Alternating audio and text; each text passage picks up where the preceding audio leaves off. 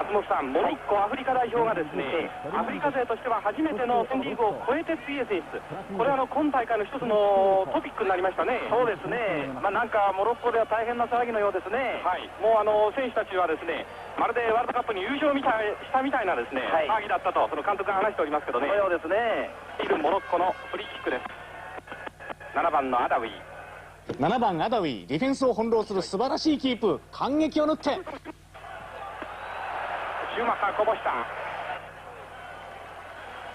ドイツの選手がね、はい。このモロッコとやったことないんですね。えで顔見てね、この自分のマーク決めようと思ってもね、なかなか確認できずに迷ってますね、今。あーなるほどねええ背番号で言ってるんですけどもね、ええ背番号が見えないもんで、はい。顔じゃ分かんないんですね。ああ、なるほどね。え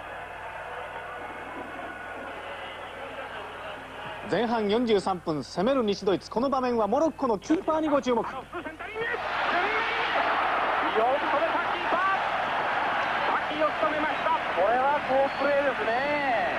前半の43分のプレーでした。うん、素晴らしいプレーだ。これでしょ？えーこれですね。反応の素晴らしさ。アフリカではナンバーワンのキーパーと言われてるんですね。その片鱗をね、見せてくれましたね。後半に入って4分。モロッコのファール。ファウルを受けましたホイッスル。西ドイツのフリーキックじゃあ軍目逃げフリーゲルに山下まだチャンスがついている。ボールが上がった。軍目逃げオーバーヘッド。後半の4分のルンメニゲルプレーでした。見せましたね。ここですね。わずかはい。外れましたけど、残り時間4分あわや延長戦か。かなり激しい当たりで西ドイツボールです後半の41分。西ドイツ終盤になって動きが激しくなってきたルメニゲ。ホイッスルです。後ろからのキッキング。西ドイツボールのフリーキック。ゴールまでおよそ30メーター。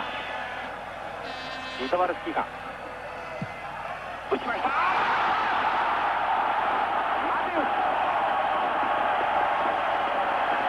このシュートの弾道にご注目。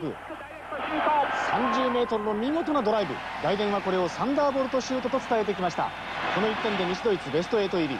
アフリカ代表のモロッコ前線むなしく敗れました。